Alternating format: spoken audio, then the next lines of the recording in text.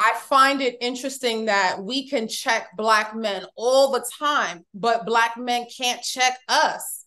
We could tell a black man he got to go to therapy. We could tell a black man he lazy, he needs to help around the house, but your black man can't get you up at 6 a.m. be like, we doing a workout. Your black man can't say, hey, babe, when you on the phone with your family, you're gossiping a lot. And then when you get off the phone with them, it's negativity in this household. Is there a way you can participate in your family stuff that doesn't hinder our relationship? You're treating me like your sister's baby father, and it hurts me every time you get off the phone with her. Like, I don't understand. Why is it that a partnership, when it comes to betterment, is only us to them when it can't be them to us?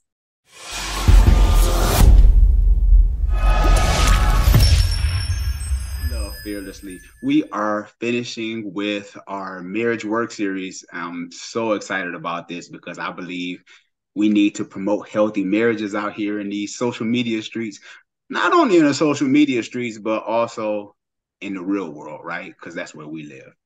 And today's guests are going to bless you in a tremendous way because I've been rocking with them for some years and finally got a chance to interview them today's on today's uh, podcast. So let's jump into it.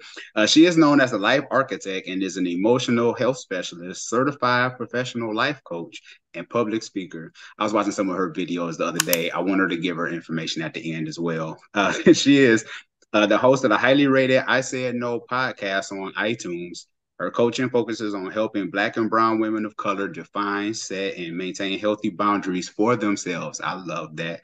I've been listening to her since uh what was oh not your mama's podcast i've been rocking like years ago and we'll talk about that as well in the summer of 2003 uh, stefanie and her husband dennis they tied the knot in 2010 in montego bay jamaica Stefanie and Dennis have attended individual and couples counseling at different times, and you can both find them on Twitter. Uh, and we'll give them their handles and stuff as well at the end of the show. So, Bravehearts community, let's show some love to Stefanie and Dennis. How are y'all doing this morning? Oh man, we are doing so well. Thank you for having us, and it's an honor to be here with my baby, my husband, Dennis. We're here, we're live. That's what's up. And uh 13 years of marriage? 13 years of marriage. This April 2024 will be 14 years. Yes, we met in 2003. Uh, so that means we've known each other for 20 years, but we didn't get married right away. Wow, that's what's up. I want to talk about that as well. Uh, let's jump into this because I want to honor your time. How did both of you meet? You want to tell my version or you want to tell your Let me version? tell my version because my version is way better, right? Okay, yeah. Let, let's let's do the uh, the lit version. Yeah, yeah, let me give you my version. So, you know, I was I was working uh, uh, for a telecommunications company, and uh, it's the first time I was actually standing for a long period long period of time this particular day. So, I got invited to a party, and I really wasn't going to go. I was tired. I was really really fatigued, and my friend was like, "Look, it's free beer, it's free food. You're coming," and I said, "You're right. Let me just go." So tired as tired as I was, I went to this party and I opened the door as a friend of mine. So, you know, I just opened the door, walked in, and I saw this beautiful face sitting there. And I said, I may have to get to know her a little bit better. I may, I may. So, you know, I started to talk to her and we exchanged numbers, and the rest is history. Is that is some good summation? I will allow that version to stand. Yes. it was okay. a mutual friend. I had already been there. It was a party for a mutual friend's husband, birthday party. So, yes, he came in and we were the way the door was, I was sitting in eyesight of him when he opened the door. And I had actually been talking to another guy there. And he was just like, all right, whatever. I, am going to shoot my shot. And here we are over 20 years later, still sitting next to each other, building together. That's what's up. So, what was that conversation like? When y'all first started talking? For me, it was more of a um, I was making fun of her. Let's just be honest. I I I came in. I wanted to um, see if I could build a conversation with her, like I do with most of my friends and family. And I just started just joshing on her. I looked at the looked at her purse and called her purse fake, and she just went. She started going off. This is fake. This. I said, "Well, educate me because I don't know. Could you put me on? See the tricks, the tricks."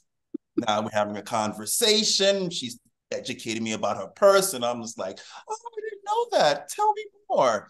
that led to more conversation and more intrigue. So it was a little bit of me just uh, you know, starting conversation. Yes, he's sarcastic and funny by nature. Um, and uh, for many men, that is a comfort zone when you want to tackle difficult conversations, when the fear of rejection is in the room, you want to go to your safe place, which is normally comedy, sarcasm, and unfortunately insulting women. Um, but I will say he did it in a way where it was fun and jovial. I didn't feel disrespected. It wasn't like he was trying to, you know, do that typical thing that we tell girls, which is very damaging. If he hits you, he likes you. If he bullies, he if he bullies you, he likes you. No, it wasn't like that, but it was jovial and fun, and he was able to take my attention away from the other guy who was trying to talk to me. And that's all she wrote. We here. I had to educate him about Gucci. You know, he was trying to play me like, oh, that's a fake Gucci bag. I'm like, sir, let let mother school you. I touched it and everything. I, I went up and was like, this don't feel like Corinthian leather. I don't think this is the same kind of leather they made. And then she had to pivot and let me know that I was completely wrong. Yeah. hey, Dennis, that's game though. That's some game right there. I, I, listen, I'm subtle with mine, right? I, am not going to tell you what it is. I'm just going to do it. Pick it up. Sean, stop gassing this man, please. Damn it. well, I was going to say, yeah, we need to pass the offering plate because, you know, Dennis giving some some free game. That's all right. I'm going to let y'all fellas uh, uh, celebrate each other. Go on. Yes. Finger clap. mm-hmm, mm-hmm, mm-hmm. We're gonna cash app. We're gonna put your cash app on the bottom in the, in the description. Early, yes, sir. Early. I want to talk about household chores real quick because uh, I was on Twitter probably a week ago, and I think Stefanie, you and I spoke about getting a, a maid. Yes. And as doing some some uh, statistics, I was looking at 56% of marital dissatisfaction comes from household chores. Uh, how important are those duties done around in a marriage? Like, how do how do you both work with that as far as household chores? You want me to go? Yeah, you lead off with that. Um, I'd say I'll say we've grown in that area. Again, we met very young. So 20 years ago, we're 20, right? We're 40 now. So 20 years ago, we're 20. So we both obviously came from different backgrounds. He's Ghanaian, African, and his background and his household is very traditional. The women do this, the men do that and I'm a Nuyorican, right? So I did not come from a home where my dad was very like, oh no, that's a woman's job. My dad does everything. My dad will mow the lawn and while cornbread is baking in the oven, right? He'll do some homework while he's also making sure he's spit shining the the furniture or the forks and knives, right? So I came from a household where I saw a man do as much as my mom. So it was jarring for me uh, once we really got together and cohabitated and shacked up before we got married to have him sit back and watch me do all of the duties in the house when he lived there as well. So that was a source of contention for us very early on in our marriage, which was also something that was focused a lot on in therapy. And how I handled it at the time was completely inappropriate because I didn't know how to handle it. So I was shaming him. I was yelling at him. I was making him feel like he was a piece of I don't crap. I don't want to curse here. He was a piece of crap for not participating. And I really didn't understand that it was something that he had to unlearn that was given to him in his culture, in his household. So I'll stop there and then let him add his perspective. Hey man, I was lazy. Yeah. Keep it 1000. You keep it simple, you know. I was just lazy. What am I going to? You know, see, seeing your your dad do everything financially and don't get me wrong, everything uh, outside the house. Seeing your mom do majority of the housework. Um, you know, sub- subconsciously put you in a state where you, you're thinking, you know, this jobs, these jobs only belong to your, your mate. But you know, therapy, you know, going down, going down with therapy and sitting down and having a conversation and just understanding that this your house too, big bro this, this, that's your dirt. that's your dish. Yeah. You know, and I'm sitting back like, that is my dish. That is my dirt. So it, it, we had to work through a we had to work through a couple of uh, conversations, a couple of scenarios where it was just like, okay, we have a hurdle. How are we going to get over this? And just uh, I think I thought you know you mentioned therapy. I thought therapy uh, helped us out a lot with that. Yeah, I, I felt and I articulated and said, I feel like I'm your slave, and he didn't like that that statement because, of course, that statement is overused, and even though I felt taken advantage of, I'll never be a slave or an enslaved person. So it was extra in hindsight with the mental health tools I have now I didn't have to articulate it in a way where he was my master. Right. Mm. And at the time, I'm like, well, that's how I feel. And it's like, but do you really feel like an enslaved person from the 1920s? Or do you feel like you're being taken advantage of? I had to realize that I had to speak to him in the language that he could receive. I was mm. attacking him verbally and I wasn't articulating what I needed from him. So going to therapy helped that. And as I said to you on Twitter, just coming to the resolve that we can afford to pay somebody to do this, and that'll help us um, alleviate some of the pressure here. And we weren't raised to outsource like that. You're not supposed to have another woman in your house cleaning for you and your man. You're not supposed to have another person cooking for you. And it's like, why are we putting that pressure on relationships when I am not my mother? I am not my grandmother. He is not my grandfather. He is not my dad. He's not going to cheat on me with the cleaning woman. He's well, not. Don't play with me. That's what she, she look like. He's not that person, and I'm not that person, right? So understanding that we're also financially freer than our ancestors were. And we have the resources to say, hey, we're going to hire someone. We're going to start off once a month with deep cleaning. And then we'll work on maintaining it ourselves throughout the month. And if we feel like we need to double that to bi weekly, then mm-hmm. we will if it financially makes sense. And it helped us so much. A lot. I love that. Like you said, Stefanie, outsourcing. And we are not our parents, right? So I, I love that because a lot of time, and I know for me growing up in the hood, it was like hiring a maid, you had to be rich. It was like you was, you, you know, was different strokes or something. Yeah, you, you was bougie. bougie. There you go. And guess what? Black folk need to be okay with being bougie. And if that's the case, if you have a problem with the word and what it means or how you were told it was supposed to be defined, how it's supposed to uh, be received by others, one, Stop worrying about what people think about you. Do what's best for you and your household. Two, be okay with being the Black person that can afford what other people can. Like, why is that a problem that I have but you don't? Trauma. We need to get it. We need to get it together and understand a lot of our relationships are not thriving. A lot of our black marriages, a lot of our black households, our, our households of color are, are breaking down because we're holding on to what our people from the hood, from yesteryear, are telling us what it should be. And in actuality, we're taking information from people who weren't even happy themselves in the first place. We got to let it go. Mm, you know? I love that because even outsourcing, when you're getting a maid or getting some work done to the house, you could possibly, while they're doing while they are doing the work, you can land you a five thousand dollar client. Talk about it. It could be a client, it could be a romantic date for you two, it could be free time. When we had the maid come the first time, he had a me day. He left. I'm like, I will I'll supervise her. I want to see how she cleans based on my liking, since that's my wheelhouse. You go and you have a great man day. Do whatever you need to do. Once we get used to her, it'll be different. But it was an opportunity for us to have separate downtime yeah, I, I supervised her, but I went downstairs, I read my book, I did a little bit of work. It was a Saturday morning that I got to get back for me and he got to get back for him. So whatever you do with that time, it's time you didn't have before because you were occupied cleaning the house. And we have three stories now. So it's a lot to lug that vacuum and Swiffer upstairs, downstairs, down again. It, it was just, it was weighing on us. So I was like, get somebody else to do it. I know that's right because I think we don't talk about that enough as far as uh, household chores and duties, and if we are going to outsource, um, especially if you got kids or small kids, like that's a different dynamic, right?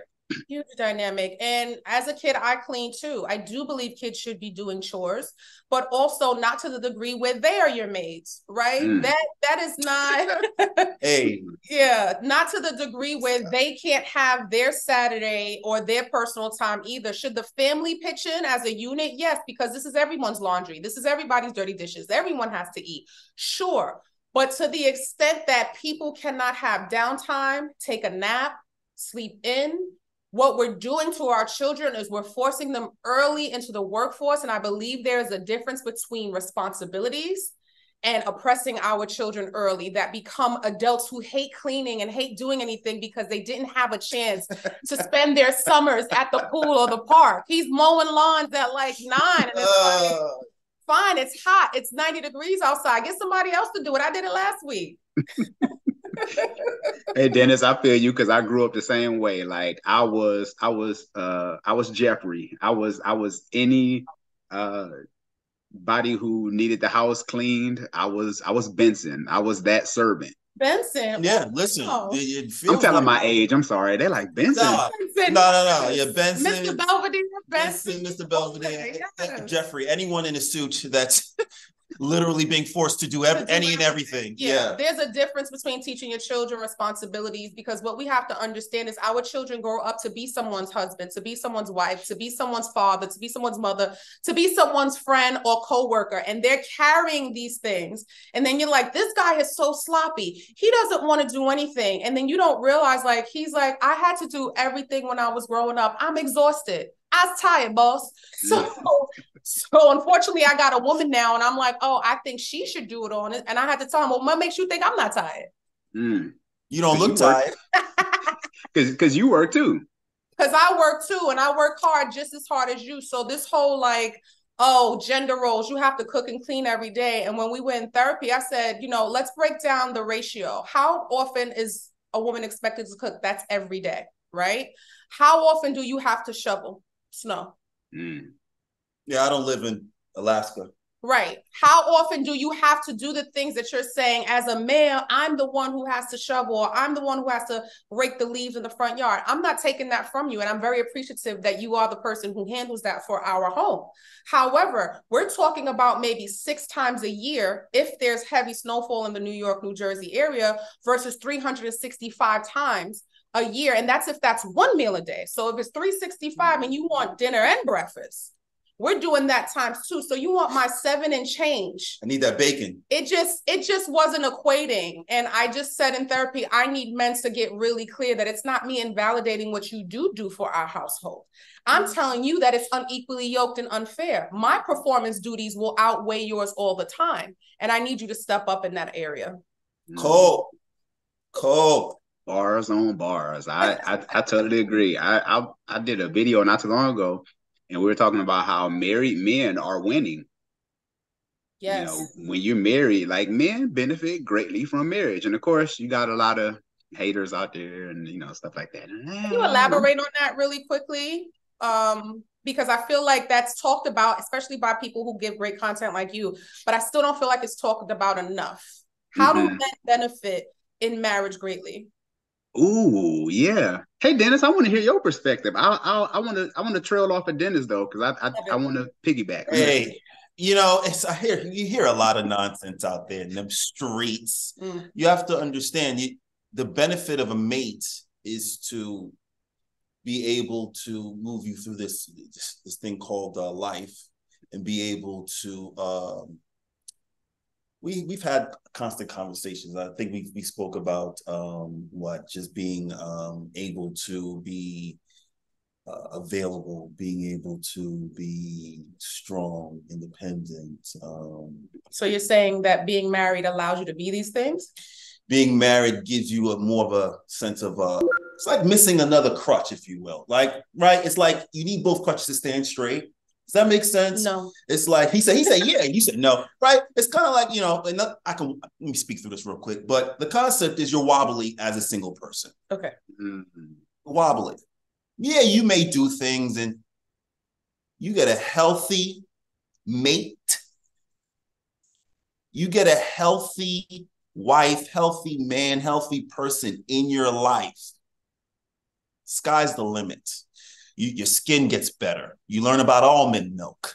Uh, uh, uh, uh you, you, you're getting, you learn about everything bagels. Okay. You, you, you're getting drapes being flown in from Chile. Like these are the things that some, some of us men aren't familiar with. We don't yeah. familiarize with some of these extra things. However, your mate is there to obviously be there and give you these uh these other ideas and other um ways of looking at the world. So I would say all those things um benefit men uh you know benefit men way more and and and, and we should we should be happier uh, we should be actually saying that and letting other people know. And, and I'm sure people are. It's a matter, it's a matter of listening. Mm. Yeah. Yeah. You like how I did that assist?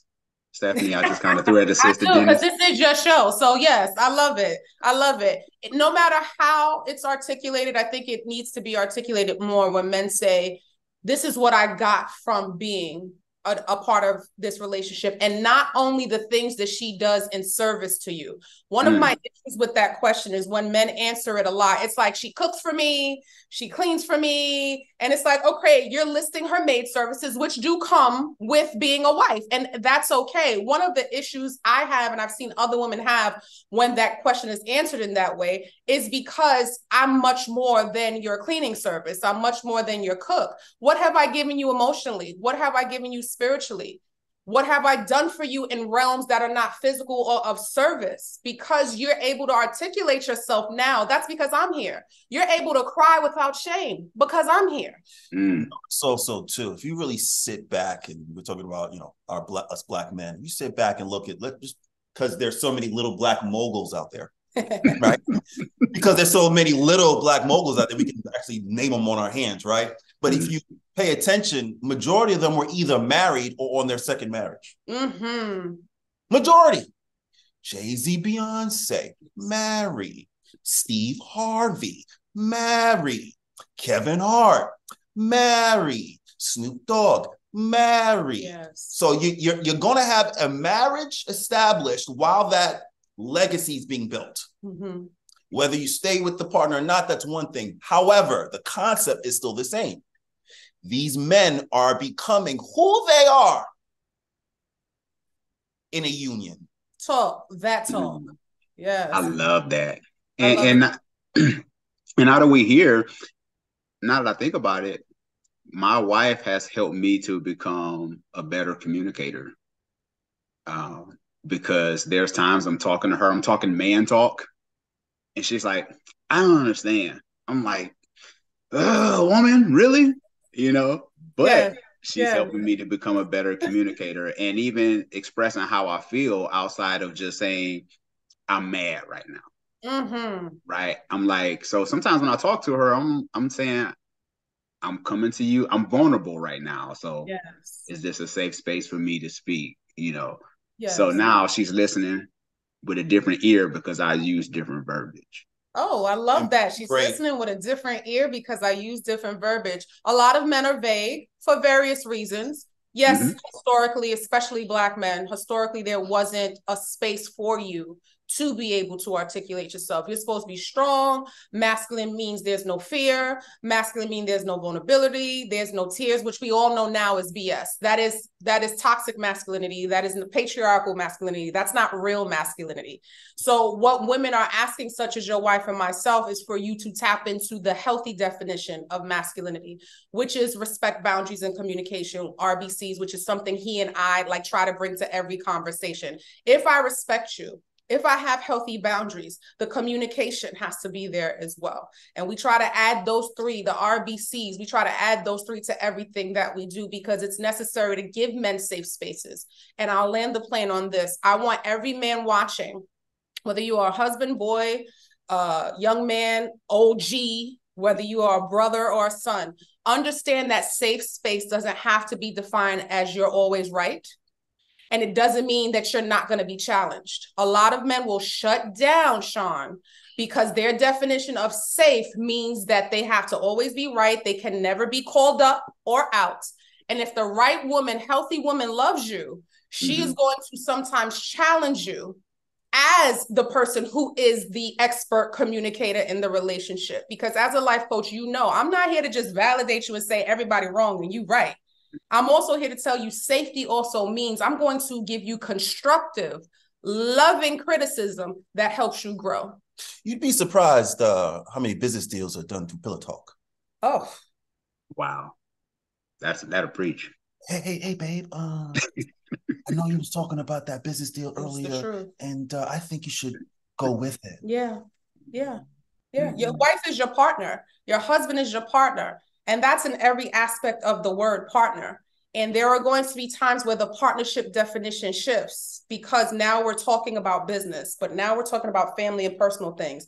And again, RBCs, as long as you follow those three respect, boundaries, and communication, and in communication means consent and other there are other you know words you can put with the uh, letters but respect boundary and communications i'm telling you sean those three if you put those in start your there. conversations and start there that will help your marriage and or committed relationship grow. I love that. This is yeah. For the sake of time i want to i want to keep it moving because there's so much more i want to say. I'm gonna have to bring y'all back on the show. We just gotta have to do a part two then. That's it I'm for it. So, to those who listening and watching and watching, we're gonna hold Stefanie and Dennis to that. Okay, so y'all hit them up in the inbox and like, "Don't worry, gonna have you on my platform too." So we're gonna just keep it going. For sure, and uh, congratulations for bringing the podcast back, Stefanie. Cause thank you so much. Yeah, because you were like, I'm like, what is she doing? Where's my episode? Like you were in my rotation. Yes. All of a sudden, you on my rotation, and I'm just yes. like. I took a mental health break. I needed it. My spirit was compromised. My mind was compromised. Uh, COVID really did a number on me. My mother was really sick, almost passed away. And I really was trying to push and force myself to coach, to speak, to podcast. And I was breaking down and I had to unplug. And initially it was supposed to be like three to six months. It was, it's been almost a year and a half. So I am back. I am rested. I am rejuvenated and I'm excited. I'm excited. Yes. Awesome, awesome. And Dennis, you have a podcast too, right? Yes, sir. Listen, NBA Whisper, if NBA fans, basketball fans, if you're interested in knowing what's really going on, not the, the, the stuff on the media, come to me, the NBA Whisper, Sir Denny Blanco. Yes, I uh, do a show. It's called It's in the Game podcast with Randy J. Crew. Shout out to Randy. And we discuss many things, trades, uh, NBA uh, news, but we just get straight to the uh, truth in the business. Thank you. Did you see that thing with Ryan Davis when he was talking about Kevin Durant? I don't want to get off sidetrack, but did you hear no, about no. that, Dennis? Yeah, wait. He made, what did he say about Kevin Durant? Just to just to be he sure. dragged him. Yeah, he got yeah he dragged Kevin Durant. Basically, he was saying that um he's balding, and on top of that, he can't. He he's an offensive scorer, but he was like a lot of those guys who are champions. They have defensive um, uh, uh, accolades like Jordan and Pippen yes, and all those yes, guys. Because yes. Kevin Durant was saying something about scoring win championships, and he was like, "Nah, it's deeper than that." Listen, me and Kevin have a love hate relationship. He doesn't know me, which is fine. But you know, I like to when I speak on these shows, I like to speak like this person sitting right in front of me, so I don't have to, you know, be scared if I see them again. I would say, Kevin, I would say, Kevin, you're one of the greatest scorers I've ever seen play basketball game in my life. Um, but I think some of the moves that some of the trades that you've uh, requested, requested a trade from Golden State after you win a championship, requesting a trade from Brooklyn and then going to Phoenix. I think some of the trades a little off. It's a little confusing for me. But other than that, I'm not taking it away from your beautiful uh, jump shot, the ability to do a lot for a seven footer. I'm not taking away none, none of that away from you. But hey, Defense wins championships. Hallelujah. Praise Jesus. I love when he talks basketball. He gets so, he like turns on. Does his light switch just like starts to beam. You press the button. Press the button. You dial them up. That's his favorite. Press the button. hey, that's what's up. Make sure you check out that video. it is, it's crazy. No, I'm definitely, so yeah, Kevin Durant hate. I'll just put Kevin Durant hate in the, in the algorithm. It'll come up. yeah, pop up first. Other than sex, how do you both connect um, through intimacy? What What are some things that you do um, intimate wise.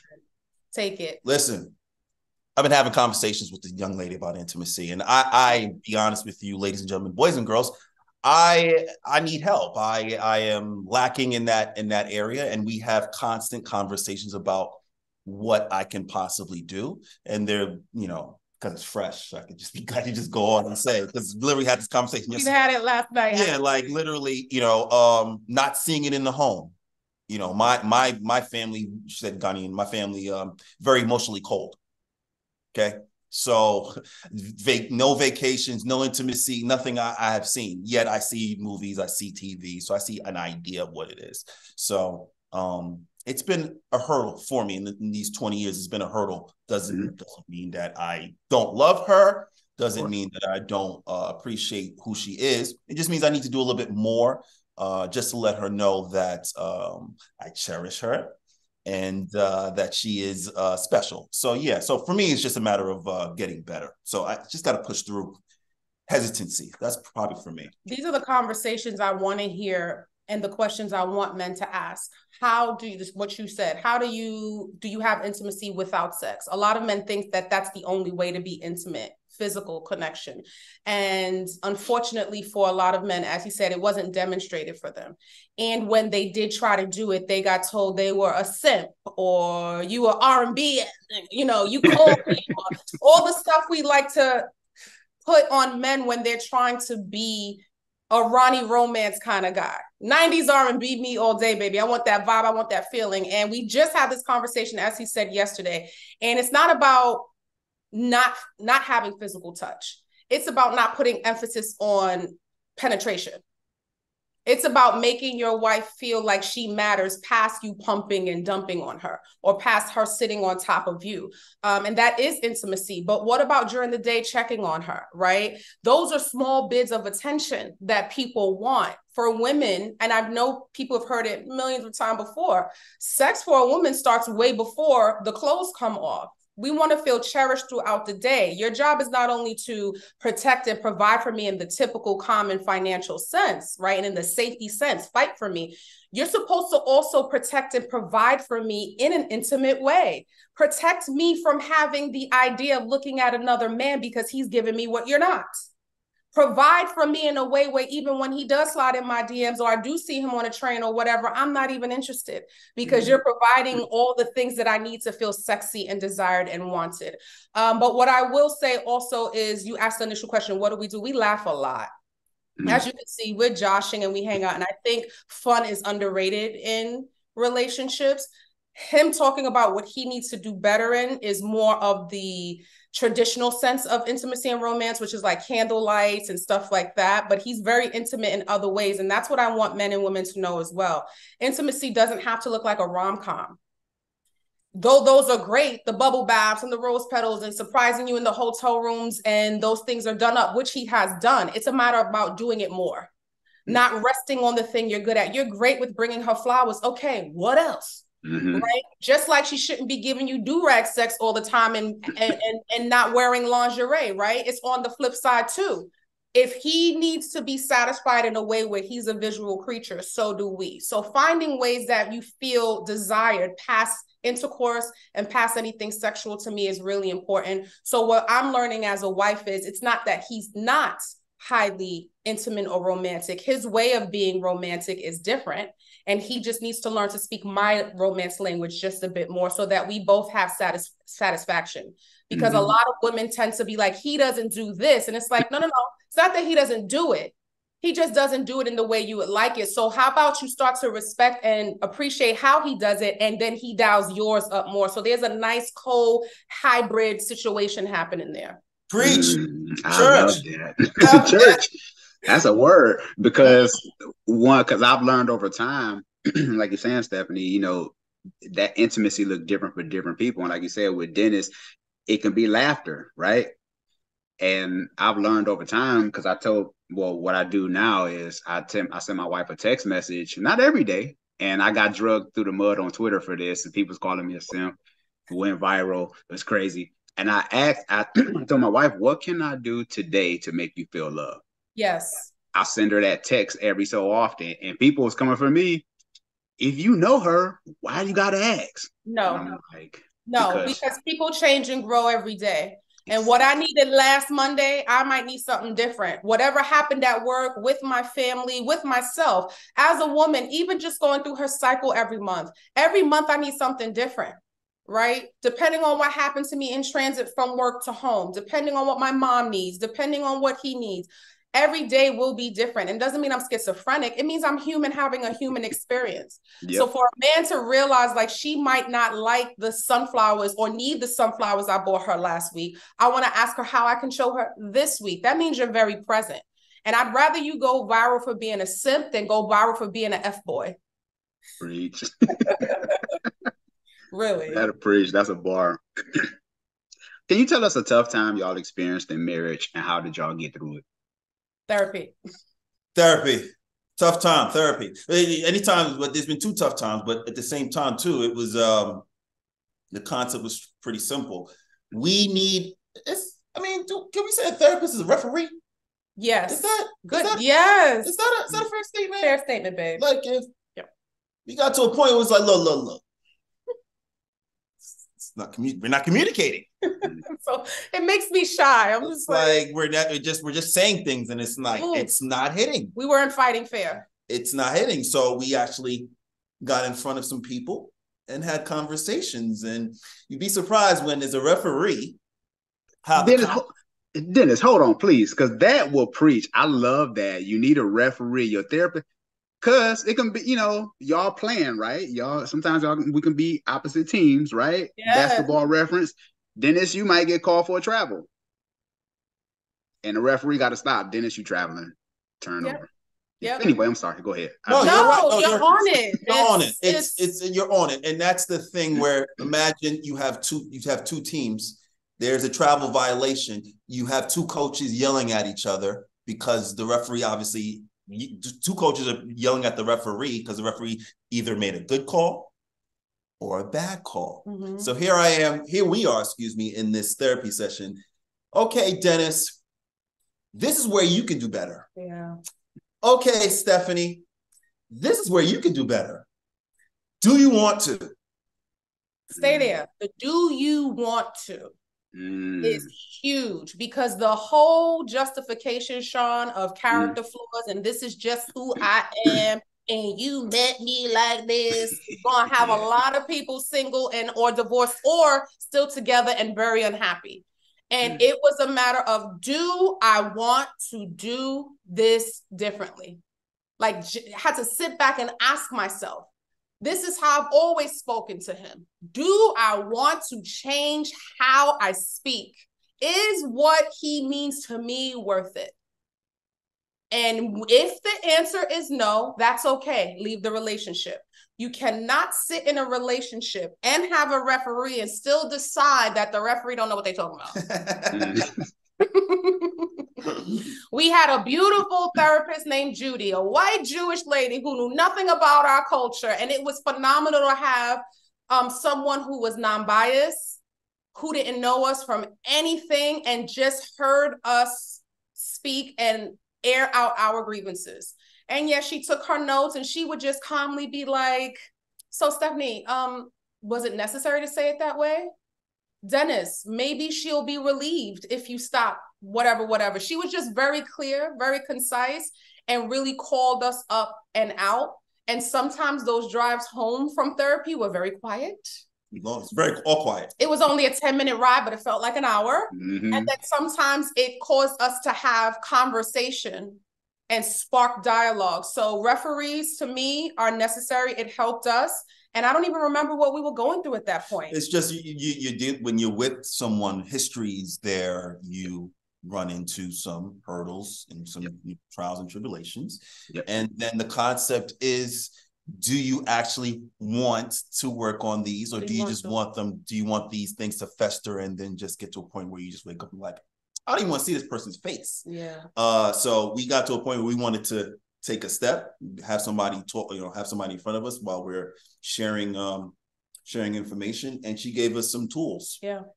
Mm. And what people ask me is like, well, you're a life coach. Why would you have to go to therapy?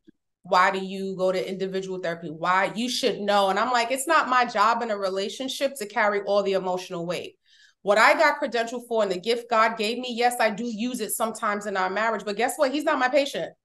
He's not my client. And I shouldn't over therapize or, you know, bring everything I learned to the relationship. That's not fair to him. And it's not fair to me because I need an outlet as well.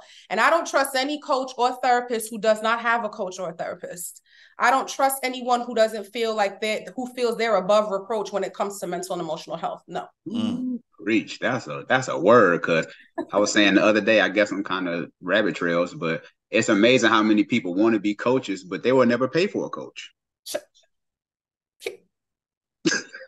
say it again. I said, You- say it again. you want people to believe in you as a coach and credentialing is important getting your certifications and your license and your masters if you're going to be therapists and so forth and so on yes that's important but investing in yourself so that you can be the person that the clients need is paramount because how can i coach you when i don't understand coaching from the client perspective child don't get me started move on move on now I want to um, ask this question. How do you think married couples should have individual therapists and a, a marriage therapist? Hundred percent. I knew he was going to point at me. A hundred percent. We were before he started individual therapy. We had the couples therapy, and I told him I felt like he was using our couples therapy as his individual therapy, and that wasn't fair to the couple session. And I didn't even tell Judy, the therapist, at the time that I was feeling that way. We go to a session, and it somehow was woven in the session discussion, and she said, "I completely agree, and it shouldn't be me." She said, I can recommend some people. You need an outlet just to be Dennis, relieve little Dennis's trauma, uh, speak about her freely. Because, yeah, we're speaking freely in therapy, but you're still having RBC, the respect and boundaries, because you don't want to say certain things that'll backfire, right? You might say them, but you'll say them on eggshells. Or even if they're not eggshells, you're saying it respectfully. In your own individual session, if you want to wild out, only you and your therapist know that, right? If you want to call her out her name, if you want to be like, she just like her mama and I can't stand her mama, you're allowed to do that when she's not around. And, you know, at first he was a little annoyed. Mhm. Like, what? I'm finally going to therapy. You're going to tell me? And when she told him, he finally was like, okay. And then he got into therapy and he fell in love with it. Yes. Yes. That's what's up. Uh, yeah, I love it because people used to question. They they they thought my wife and I was crazy. They're like, "What y'all doing with all these therapists?" I'm like, "No, you need Need your individual therapist." Like you said, Stefanie, if you need to wild out or you feel like you don't have to walk on eggshells and deal with your little kid issues. Yeah. Yes. You know, that's what that individual is for. And then when you do get into the marriage, you can talk about as a unit. Absolutely. And I wish more issues. people would do that. Um, I didn't know what I didn't know. In hindsight, 20 years ago, when even when he proposed to me years later, we would not have gotten married unless we had couples counseling and individual counseling. Of course, we were 20, we didn't know any better. Mhm. And though I knew as a church kid, I'm a pastor's kid, though I was raised that you should have premarital counseling before marriage, it was church based. And because I saw what I saw as a pastor's kid, I didn't trust it Mm. right? Because there was a lot of counseling happening in the church for marriages by uncredentialed deacons, pastors, and ministers that you can't be telling me by the word of God when what you're basically telling me, and again, love God, believe in God, all that, but a lot of the Bible is sexist. And a lot of it is geared towards um, submitting to a man that does not submit to you, right? And there were a lot of people being cheated on and hurt and violated. And it's just like, no, pray about it. I didn't subscribe to it because of what I saw as a pastor's kid. In hindsight, now that I know actual credential beings do this, and it's not just in your church, there's no way I would advise marriage without individual and couples counseling with a minimum of six months to a year first before you Mm. plan one thing about the wedding. Yeah, I mean, if we had a Thanos snap and we gave the ability to uh, uh, uh, uh, have that anyone could have uh, therapy, Yeah. How better would the world be Mhm. if uh, before you were allowed to get married, You had to. you had to get therapy, a couples therapy before you actually went in? What if? How better would the world be? and not just go to therapy sean and you'll see this if you haven't already with your clients not just go to coaching and sit there do the work. i'm talking about participate do the work. I have fired clients, Sean, because I felt like they were just showing up to complain. And then when I challenge them or give them homework assignments, you're coming back and you didn't do your homework. You only got one or two times with that for me, for me to be like, I'm not your coach. This is not the type of life coaching I do. I am serious about my coaching. I am serious about transforming lives. Um, and if you're not really going to actually do the work, but people like to be performative, Sean, they like to say, especially now because pop therapy and pop psychology is so big, I am in therapy. I got a life coach. Ooh, my life coach is the same life coach on the Housewives show. That's my girl. And it's like, but are you doing the actual work? So not just go to therapy. I would definitely recommend you go to individual and coaching uh, therapy together separately, minimum six months to a year. I love it. That's good. Because one thing that I, I've noticed over time is a lot of marriages, and, and congratulations on the the longevity, like sticking it out. Because by today's culture, people they will drop you in a New York minute. And I said most relationships today are well, back in the day when we were growing up, to my age, we used to actually fix stuff, right? Yeah. Something was broke, we fixed it. And we rock with that thing until the wheels fall off, whether if it was a bike, a toy, or oh. whatever. Yeah, car, right? We working on it. But nowadays, yeah. we just Amazon. You know yeah. Instant. I, I, I, call it uh I call it for some of my thank you, thank you, lady. Appreciate you. Appreciate you kindly. I call it um for some of us black men out there, some of us. It's three things we uh, usually run into, some of us black men. Sloppiness, laziness, and stupidness. SLS. SLS is what I've deemed that. Yes. Yeah. The lazy is, you know, coincides with, you know, I don't want to fix it. I don't even want to raise my hand to fix fix whatever is broken. I don't even want to eh, eh, use the energy I have to fix it. It'll just be whatever it is. Some of us men are very lazy when it comes to our relationships, uh, it, which, which is interesting because you could be so strong in your career, but then so strong in your basketball tournaments, yeah. but then terrible in your relationship with your lady. Yeah. So it's very interesting how some of us can't multitask or compartmentalize or prioritize or properly. prioritize. Yeah. Mm-hmm. It's about prioritizing what matters most, what's most important. That basketball game and that career won't be at your deathbed it's it's really about prioritizing what matters most and i love that men are career driven because yes you're supposed to provide but again providing is not just your paycheck you're supposed to provide my love you're supposed to provide my security in intimacy in feeling like you're communicating with me. It's so much deeper than rap, Sean. Being, balance, balance. Being a husband and a wife is so much deeper. And you mentioned 13 years and congratulating us. And I appreciate that because you're right our older generation stuck it out. This generation is microwave. I think we need to find a hybrid because there are a lot of people in our generation who should not have stuck it out. And then there's a lot of people now who need to work a little harder. So if we can find a healthy balance, and I believe that starts with a spirit of discernment, mm-hmm. is this worth me sticking it out?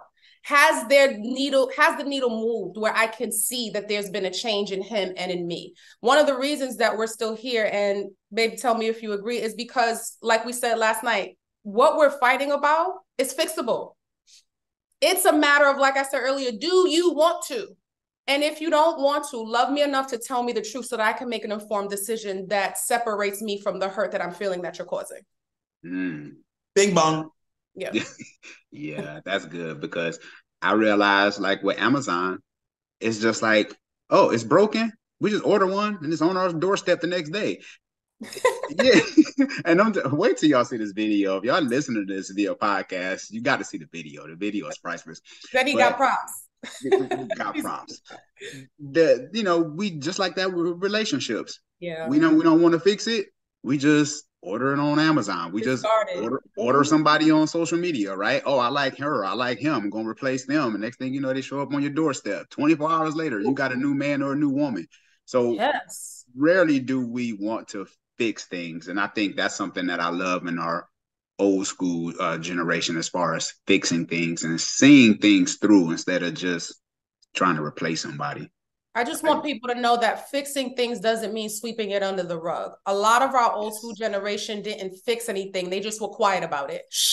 Daddy got a whole family down the block. We just not gonna talk about it act like we don't see them kids. Mm. Mommy emasculates daddy, so we just gonna say happy wife and happy life and be on eggshells until mommy feels better. All of that was not fixing, it was actually unhealthy. So while I agree with you, I think it's really important to be clear and distinct about what was fixing, mm. where things were changing, growing, and evolving versus we just quiet as black folk. And it's like, don't tell my business in this house. Mm-hmm. We just gonna be unhappy in this house. But when we go outside, we putting on them church hats, them Easter clothes, and everybody think that we the best family on the block. Okay, because my collard greens are hitting.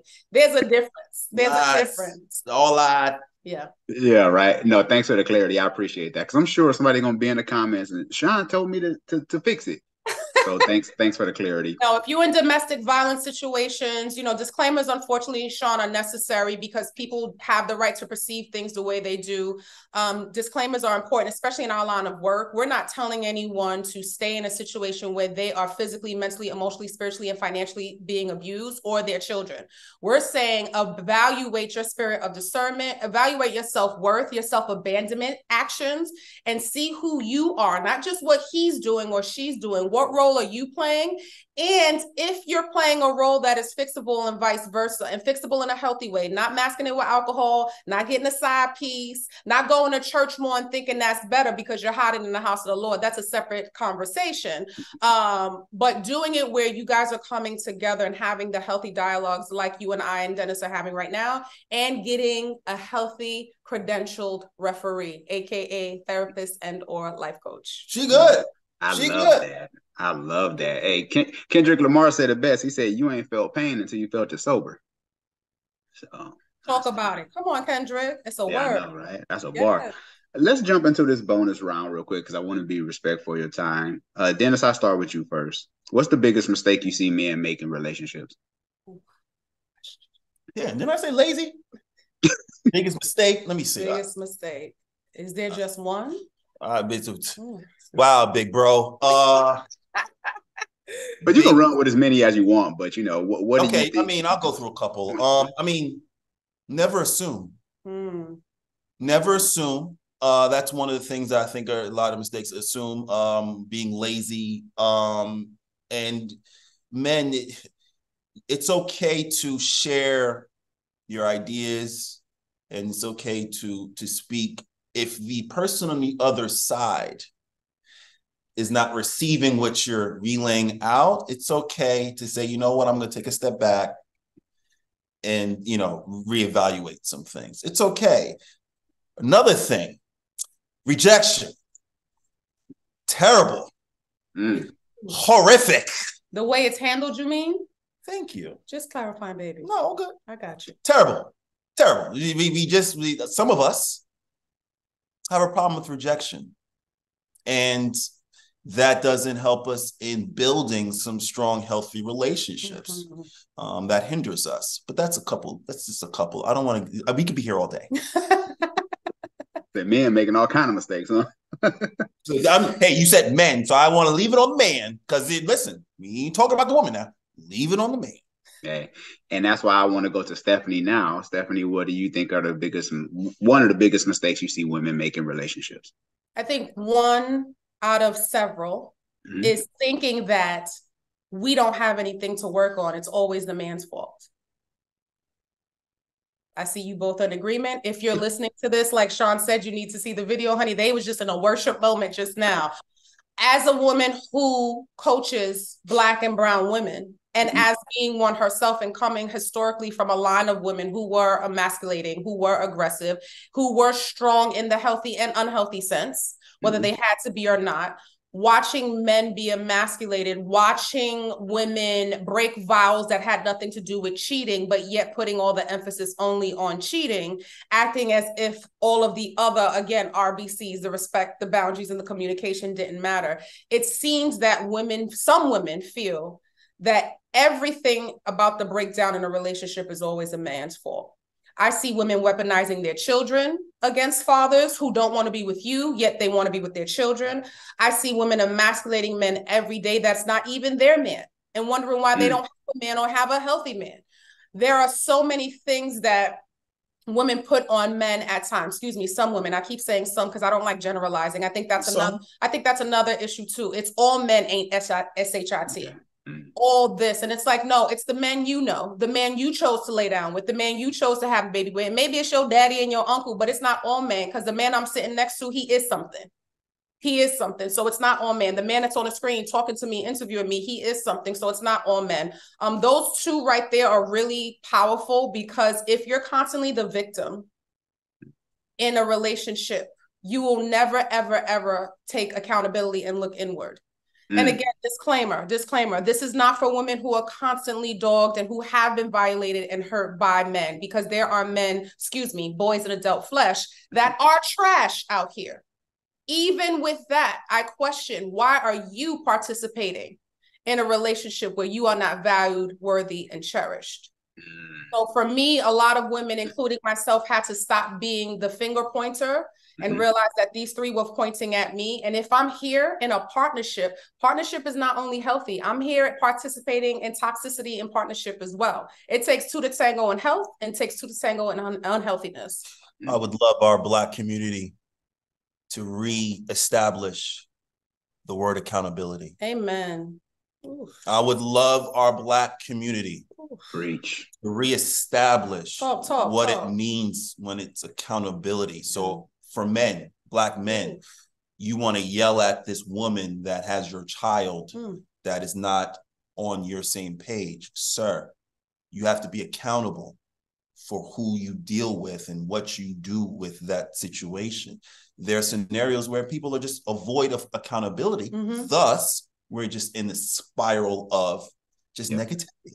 I agree. I agree. I think I totally- accountability can be for both ends where it's like, what are we doing wrong? Accountability and being okay with accountability, meaning someone's letting you know that you could do better. Mm-hmm. I find it interesting that we can check Black men all the time, but Black men can't check us. We could tell a Black man he got to go to therapy. We could tell a Black man he lazy, he needs to help around the house, but your Black man can't get you up at 6 a.m. and be like, we doing a workout. Your black man can't say, hey, babe, when you on the phone with your family, you're gossiping a lot. And then when you get off the phone with them, it's negativity in this household. Is there a way you can participate in your family stuff that doesn't hinder our relationship? You're treating me like your sister's baby father, and it hurts me every time you get off the phone with her. Like, I don't understand. Why is it that a partnership, when it comes to betterment, is only us to them when it can't be them to us? Mm-hmm. You can I'm call me a pick me all you want, but let me tell you, I don't get picked. I've been chosen. So there's no pick me here. I'm just spilling the hot tea. Okay. Ooh, you about to have me speaking in tongues over here. She told Obosha. Yeah, that Hey. boy said that about Oh Oh my God. Yes. Ooh, that's a reel. We need to just make that little segment into a reel and just drive and just Let's, let's, let's make that a thing now. This is a segment that's going to be the reel that we're going to share for for promotion. Okay. Like For sure. Oh my God, that's a word. It is a word. We need to do better as women. Again, saying you need to do better as a woman is not negating where men need to do better and vice versa. We are so conditioned to tennis match and ping pong it back to the other person, and no one wants to sit, i.e., accountability, as Denny said. Accountability sits, it marinates, it processes. It doesn't just Mm. be like, oh, oh block me. I can't. Ping it back to what the men are doing. Let men talk to men about being better and let us women talk to each other about being better. And then when we have a healthy accord, then let's come together. Again, personal therapy, then couples therapy. Then let's come together as couples and as sexes and work it out together. Oh, I love that. That is, yeah, I can't wait for this video to come out because I wonder, does anyone have a shirt that says accountability isn't a curse word? Does anybody have that shirt? No, but you just made your new merch line and I'm buying and I'm wearing. Yes, accountability is not a curse word. Accountability is not derogatory. Accountability does not mean that you're a bad person. And there's so many negative connotations to ownership words. And pop therapy will have you calling everybody toxic but yourself.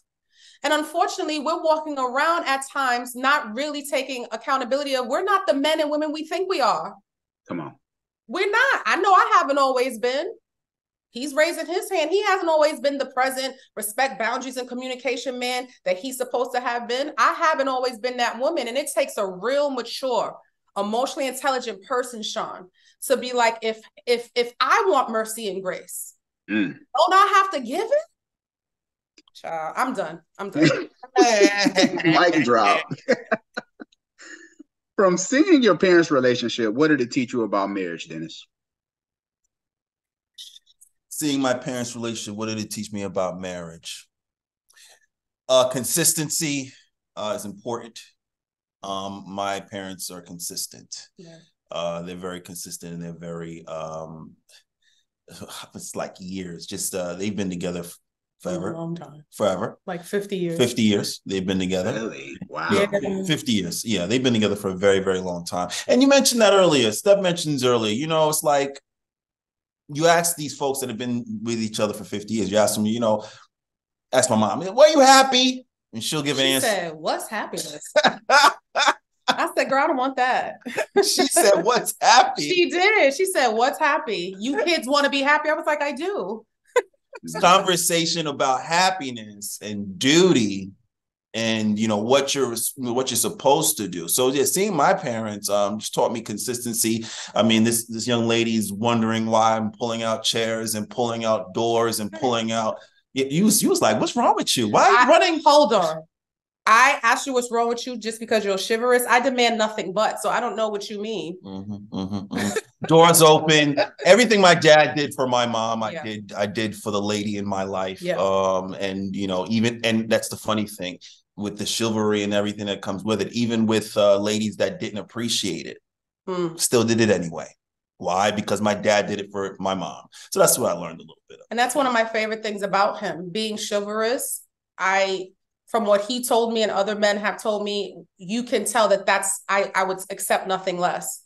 And I didn't even have to ask for it. It's just who he was. And when I met his parents, I understood it. When I went to Ghana, his dad was if if if if they needed to put the jacket on the floor so I could walk over a puddle, that's the kind of men they are. Very old school and chivalrous. And his father is consistent in being that guy for every woman around him, granddaughter, daughter-in-law, wife. That's just who they are. And it's a beautiful thing. Mm, I love that. So, uh, Stefanie, I'm going to ask you the same question. From seeing your parents' relationship, what did it teach you about marriage? It taught me a few things, some healthy and unhealthy. Mm-hmm. It taught me that marriage has to have accountability, right, on both ends. And it also taught me what I just demonstrated to you. Uh, excuse me, said to you. I saw a lot of you, my mom saying what my dad needs to work on, but my dad not saying anything my mom needs to work on and just allowing her to, you know, what was it? allowing her to be vocal about things she's unhappy. Women are natural communicators. We're going to talk, we're going to over talk and wonder why men don't speak. Um, and though she had valid points and still does at times, I just noticed my dad would just fall back and let it happen. And mm. to me, that wasn't healthy.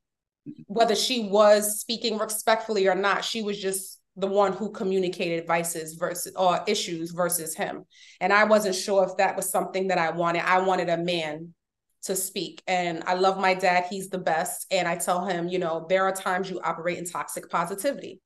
Mm. You know, everything's fine. I'm the man. I'm supposed to take it. I'm like, no, that happy wife, happy life is unhealthy. I hate that statement. I don't subscribe to it. So that's one thing I learned that wasn't really something I wanted to take into my marriage but also I learned how to cherish my dad. Oh my God, he cherishes my mom. My mom will claw someone's eyes out for my dad. They are very much about them. Like, that's my girl. That's yeah. my guy. My mom was sick and oh, I'm getting emotional. He couldn't get in the ambulance with her. He drove behind the ambulance the whole way. Like, there's just during COVID. during COVID when everyone is home and no one's supposed to be outside, COVID wouldn't allow him in the ambulance. And he's just like, they're like, oh, you could stay or go home or meet us at the hospital. He's like, I'm not meeting you anywhere. I'm driving behind you. Don't lose me because mm. I need to mm. make sure the road to her healing, I'm on it. Mm. uh, I could cry just thinking about that. That's the kind of cherishing I want. And that made me call him up about certain things because I had a man demonstrate for me. This is why fatherhood is so important. Hmm. I had a man demonstrate for me how a woman should be cherished. Again, he was out there mowing the lawn, but he was also doing homework, helping me sew a patch in my shirt and cooking cornbread. I had a man who was not emasculated by doing feminine things. Mm. Nurturing his children was not gay. Nurturing his children wasn't being simp. It wasn't just about him giving us money or punishing us. So I saw that in a marriage and I said, that's the kind of man I want. I want a man who's funny and I want a man who puts me on the pedestal that I deserve to be put on. And I saw my mom take that and be like, I never had that before. And I'm not mad about being someone that someone wants to cherish because she had a lot of trauma in her childhood. And mm-hmm. it took mm. a while for her to find a man who put her on the pedestal she deserved to be put on. So yeah. Love it. Good stuff. Last question, because I want to respect your time. No, no uh, trick answer or whatever you feel is best. Dennis, is it easier to love yourself or someone else? Can I say your questions are fantastic? On, like man. honestly, hold on now. That's easy for me now because there's a lot of people loving themselves, and not loving, not having the ability or the mental bandwidth to mm-hmm. love outside themselves. Loving themselves is easy. Well, my opinion. Yeah, he actually loving myself mm-hmm. easier. No, I ain't got to rely on some. Listen, take me to an NBA basketball game. Listen, I, I like to. I like some oxtails. Buy me some oxtails. You know, I have to worry about none of that. I just do it myself. Yeah. That's why this. Such a man. Yeah, that, that's that's why these people. That's why these relationships aren't working because you you got people that's like I'm not as selfless as I possibly could, mm. so it's not going to work. Hmm for me, mm. it's easier to love other people. Other people. Break it down. Um, I'm my worst critic.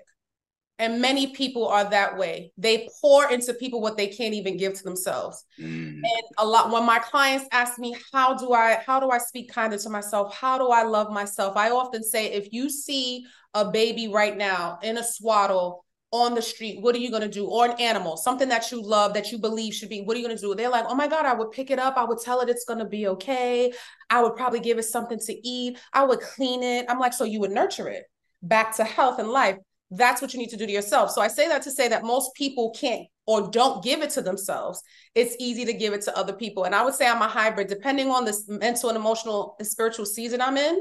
There are times where it's harder for me to love myself. So I have seasonal depression uh, seasonal affective disorder. During the colder months, I'm very depressed and I have to fight through it to even, you know, participate in life. Those seasons, that season for me, it's harder for me to be kind to myself. I can pour into other people because it takes the focus off my depression. Mm-hmm. Um, but when it's summer and now and we outside, I'm loving myself because I gotta, you know, I gotta be outside doing things. We be rolling in the streets. So, you know, it depends for me. I'm not a type of person where it's everything is the same for me all the time. I evolve with life. Mm, I love that. Ah, okay. Y'all got a couple minutes because I just got to ask y'all. Go ahead, go ahead. Okay, go okay. Ahead. I got to ask y'all this question because y'all, y'all, y'all spitting gems. I'm loving it. Okay, which is the hardest for you to say, Dennis? is it A? I apologize. B. I need help.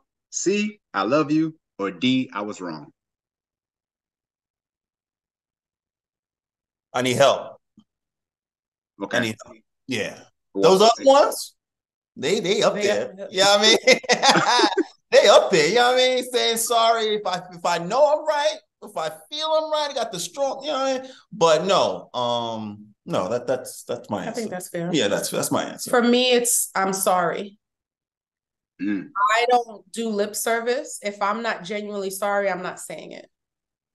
Mm. I'm an action person. So you can say sorry, but if your actions don't reflect it, of course, I have to give you grace and time to change. But if time goes and it's like, I feel you're doing the same thing to me, your words were irrelevant. Mm-hmm. However, in therapy, that's what I had to learn. We have different apology styles and apology languages. He needs the words.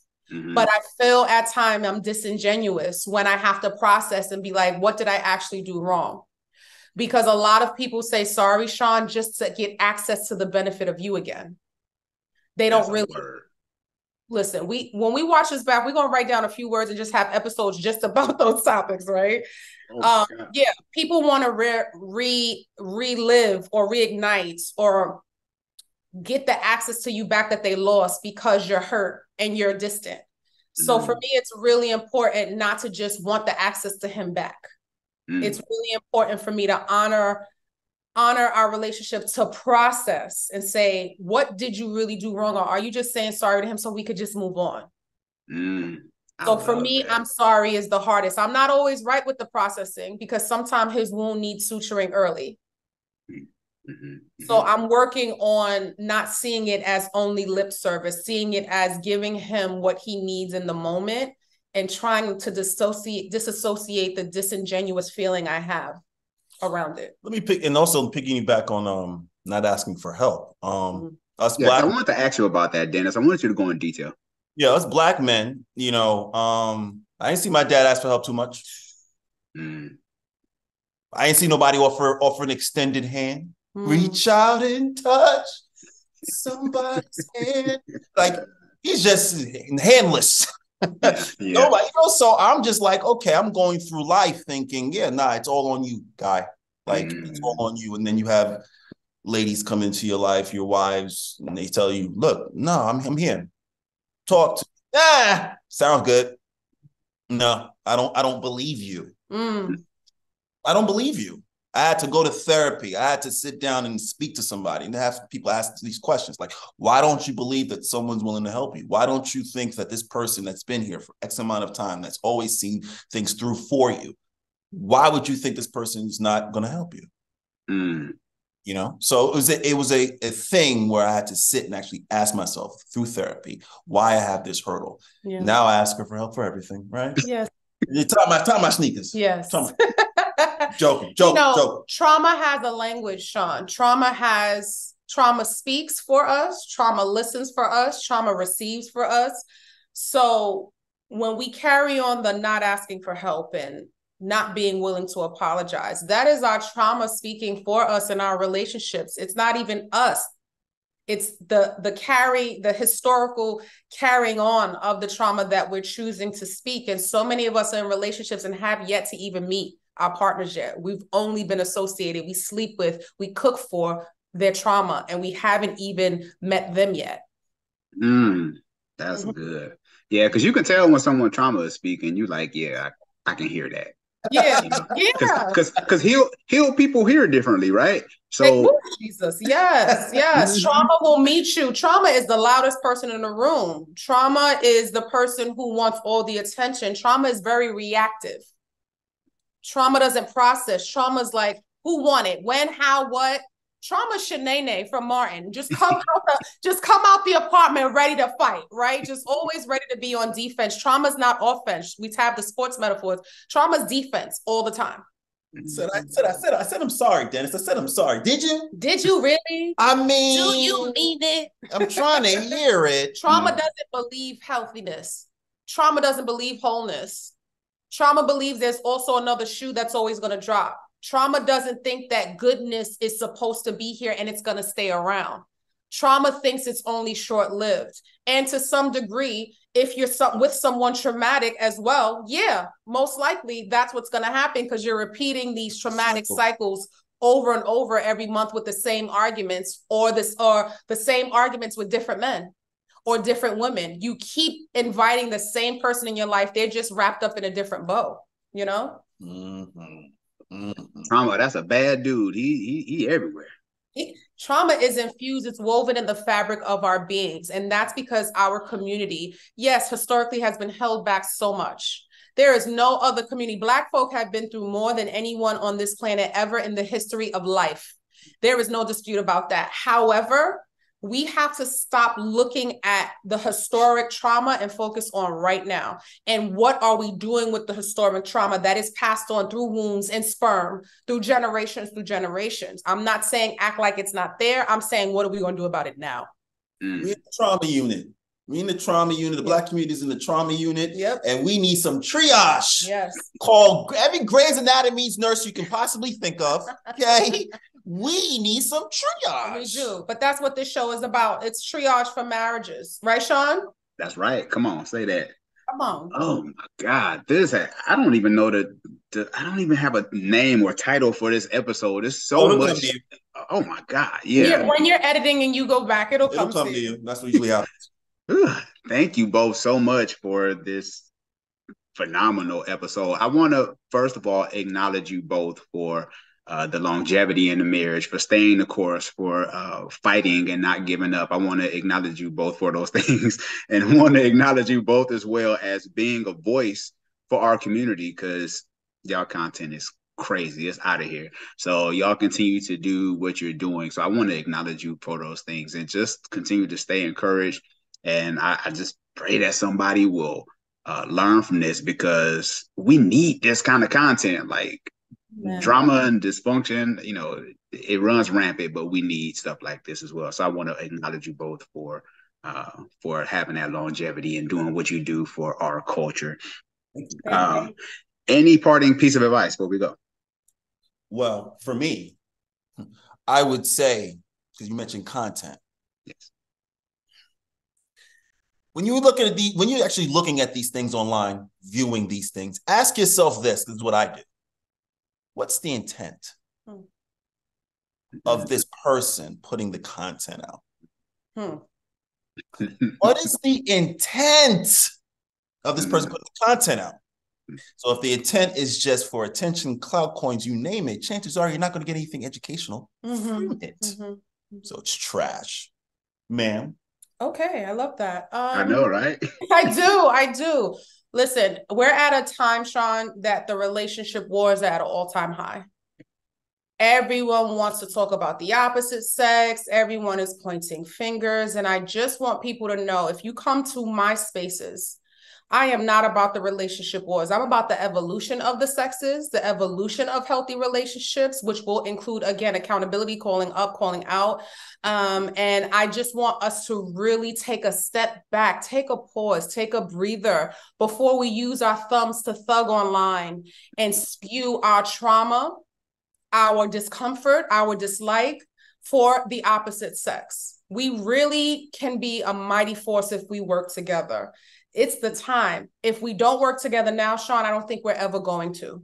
Mm. We have the resources our ancestors did not have. And our generation, to me, is the best generation because we have one foot out of the digital space and one foot in. Yep. Right. We're the only hybrid generation that remembers what it is to be without social media and this Zoom platform, but also remember when it was in its infancy and just came out. We're like the beta the beta testers here, right? So we understand old school and a little bit of new school. We the cool aunties and uncles at the barbecue. So we have to do better as the un- uncles and aunties at the barbecue with platforms like this. Men, I want to see platforms where we're not just talking about what women should be doing better and submission with no mission to submit to. Mm. I want to see platforms where it's like, hey, how does a man stay faithful in the relationship?